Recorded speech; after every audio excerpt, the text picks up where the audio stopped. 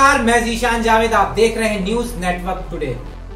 चौराटा थाना अंतर्गत करहिया गाँव में बीती शाम दो साल के मासूम की छत में गिरने से मौत हो गई। दो साल का मासूम अपनी माँ के साथ छत पर मौजूद था। बॉटल से दूध पी के छत में टहल रहा था। उसी दौरान ना जाने कैसे वो छत से नीचे गिरा। संजय गांधी अस्पताल में इलाज के दौरान मौत हो गई। दो साल का लड़का बोतल से दूध पीते पीते छत से नीचे गिरा।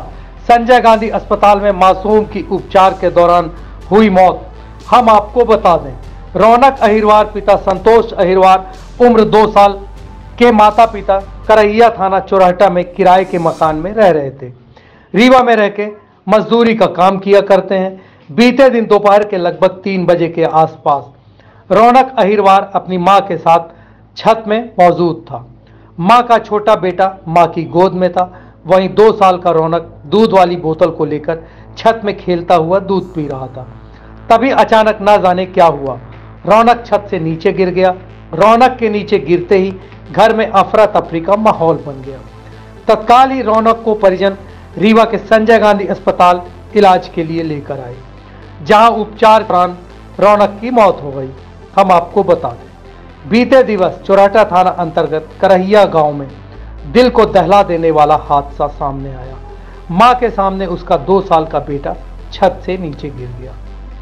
माँ के साथ छत से नीचे गिरने से मासूम रौनक अहिरवार की संजय गांधी अस्पताल में दर्दनाक मौत हो गई।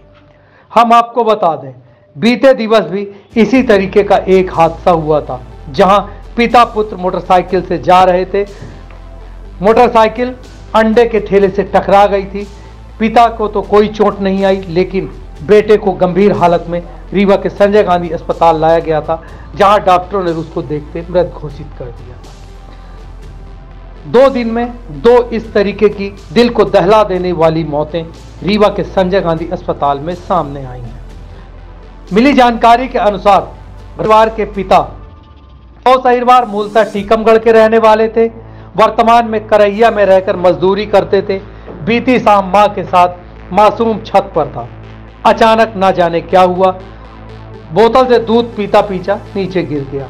हालाँकि माँ ने पकड़ने का प्रयास किया, लेकिन सफलता माँ को नहीं मिली।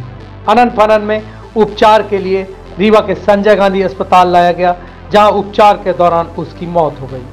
मृतक के पिता संतोष अहिरवार ने बताया, इतनी जल्दी घटना घटित हुई कि कुछ समझने का मौका ही नहीं मिला।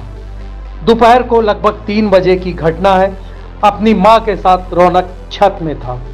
धूप ले रहा था। उसी दौरान माँ ने उसको बोतल में दूध दे दिया पीने के लिए। छोटे बेटे को गोद में लेके माँ बैठ गई। पता नहीं क्या हुआ। रौनक दूध पीते पीते छत से नीचे गिर गया। हम लोग अस्पताल लेके आए, जहाँ उसकी मौत हो गई। फ़िलहाल पुलिस मृतक रौनक के शव का पोस्टमार्टम कराकर सौ परिजनों के हवाले करने की तैयारी कर रही थी तभी हमने रौनक के पिता से बात की जानने समझने की कोशिश की आखिर ये हादसा क्यों और कैसे हुआ? संतोष अहिरवार साफ़ तौर से कहते हैं हम लोग श्रमिक का काम करते थे। बे, मेरा बेटा माँ के साथ छत में था पता नहीं कैसे नीचे गिर गया जिसकी रीवा के संजय गांधी अस्पताल में इलाज के दौरान मौत हो गई। सुनिए संतोष अहिरवार क्या कुछ बता रहे हैं रौनक की मौत को लेकर? रौनक के साथ कैसे गिर गए? सर छत के ऊपर गिर रहा था तो वहाँ से गिर गया निप्पल में दूध पी रहा था तो वहाँ खड़े खड़े अपने आप से गिर गया है। कब की बात है? कल तीन बजे की बात है। रात को? दिन में। दिन फिर क्या किया आपने? फिर वहाँ से लेकर हॉस्पिटल आए हॉस्पिटल में एडमिट कराया। फिर एडमिट कराने के बाद दो रात दो बजे रात में ख़त्म हो गया। क्या चाहते हैं आप? हम ये चाहते हैं सर हमको पीएम नहीं करा रहा आपको ऐसे साबुत चाहिए अपनी बॉडी